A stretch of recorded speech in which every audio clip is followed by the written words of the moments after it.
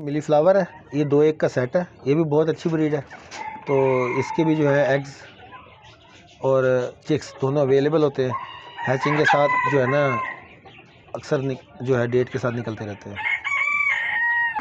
ये light so sex है, ये फ़िलहाल एक पेयर है लाइट सो सेक्स हेरिटेज तो इसके भी जो है चिक्स और अंडे अवेलेबल होते हैं।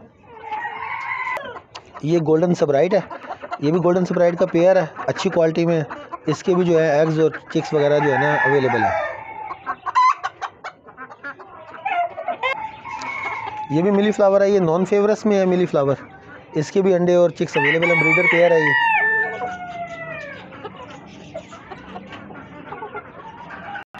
ये गोल्डन बेंटम है। ये भी अच्छी ब्रीड है और अच्छा कलर है और इसकी डिमांड भी आजकल अच्छी चल रही है। इसके भी जो है अंडे और चिक्स वगैरह अवेलेबल होते हैं। ये है जी असील वाइट हीरा। वाइट नोकनली में ये भी बहुत अच्छा बर्ड है। हीरा सील वाइट